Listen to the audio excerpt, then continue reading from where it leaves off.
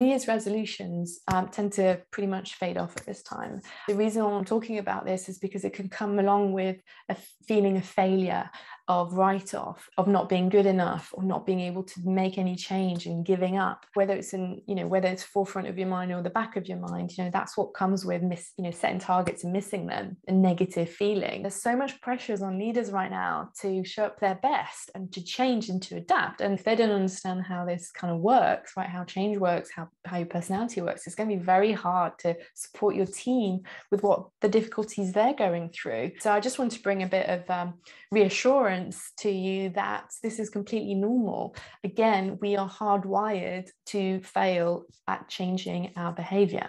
Uh, that's why you know there's a lot of sayings around you can't change people. now that's true. We cannot change other people. However, we can change ourselves.